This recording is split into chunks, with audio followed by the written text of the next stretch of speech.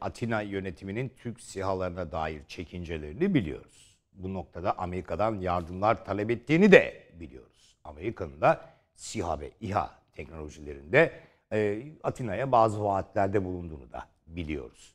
Fakat e, Türkiye'nin şu savunma sanayi, sanayisindeki o attığı adımlar, ilerlemesi aslında daha doğrusu Türkiye'nin kendi savunma sanayisini oluşturması Atina'yı fevkalade rahatsız ediyor karşı hamle yapmaya çalışıyorlar. Şimdi bir drone üzerinde çalışmışlar.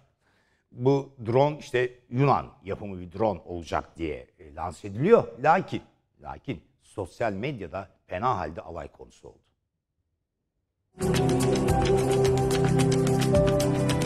Yunanistan'da üretilen Talos isimli insansız hava aracının ilk test uçuşu gerçekleştirildi. İHA'nın 200 kilo ağırlığında 4.4 metre uzunluğunda olduğu belirtildi. 500 kilometre harekat yarıçapı olan aracın hızı saatte 180 kilometre olarak açıklandı. Sastech firması Talos İHA'nın uçuş boyunca kendisinden beklenen performansı gösterdiğini belirtti. Ancak İHA prototipinin test uçuşu sosyal medyada tartışma konusu oldu. Yunanlar İHA'nın üreticilerini eleştirirken Türk kullanıcılar Yunanlara şaka yolu takıldı.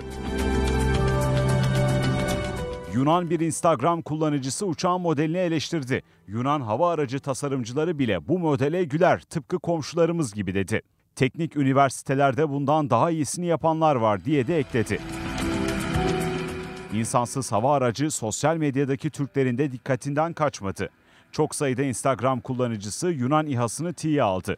Bir kullanıcının güzel oyuncakmış komşu, seri üretime geçerseniz 5 yaşındaki yeğenime bir tane alacağım demesi dikkat çekti.